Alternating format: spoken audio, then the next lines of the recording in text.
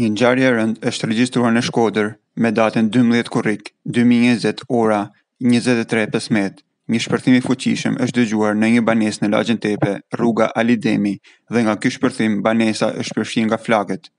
Sipas të dhënave zyrtare, banesa është në pronësi të shtetasit Admir Çani Dushi dhe pas hetimit të policisë dhe grupit hetimor në vendngjarje bëhet me dije se shpërthimi ka qenë i qëllimshëm dhe mirë organizuar, i shkaktuar nga kombinimi i lëndëve plasëse dhe djegëse.